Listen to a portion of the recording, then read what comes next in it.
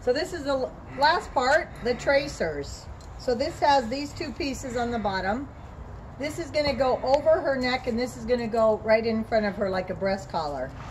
So what I'm gonna do is set this on the other side of her, bring this in front of her, unsnap her lead rope because she's tied up while we're doing this. Bring this right back here. For right now, you could set these right on top of her. If you have any kind of lamb's wool, that's gonna stay right in the middle. And that sits just like that.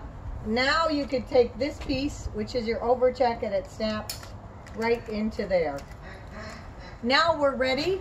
We just have the reins to add, but we're gonna add those in as we hook up the sulky. So we're gonna show you that now.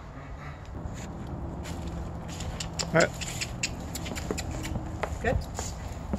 Okay, stop, stop.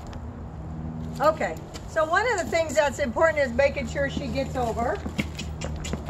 That's perfect. If you're actually pushing on her, it's not a good thing. We've been working with her. Get over.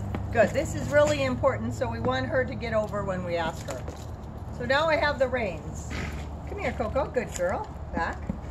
I'm gonna hook a rein into each side. And then the reins go through these little uh, circles right here. And now we're getting ready to hook up the sulky. And go. And here's that pretty pink cart that goes along with her. So what we're gonna do is bring it up behind her. And we're gonna take these little round pieces right here and slide, this is called the shafts right here. This is your tree, single tree. So we slid these two pieces in here. Now we're gonna take those tracers. That is the piece.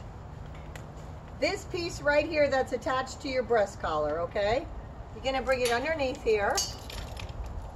Keep it straight. And this hooks right into here. You wanna do that on both sides. And she is tied up while we're doing this. You could tie her to a little hitching post or a fence. Somewhere where she can't walk forward because you want her to stand still here. All right, so those are hooked up. Once you hook those up, go ahead and push your cart back so they have a little bit of tension on them. Now you can take your reins, set them right in your cart. That's the first part. Okay, so now this piece that's hanging down here, you're gonna just take it, you're gonna wrap around and come through this little piece here, and you're gonna hook that on the second hole from the bottom. And it already has some marks on it, so that looks like that. Now this piece right here is hanging down. You're gonna bring it up over the shaft, put one turn on it right around this little piece here called your tug, and you're gonna put that on the, the very last hole, and now we're gonna go around to the other side and do exactly the same thing. Okay, so we're gonna do the same thing on the other side, so that'll help you remember. Gonna start with this piece right here. We're gonna give it a wrap around the shaft through this little U, and we're gonna come back and put it on the second from the bottom hole.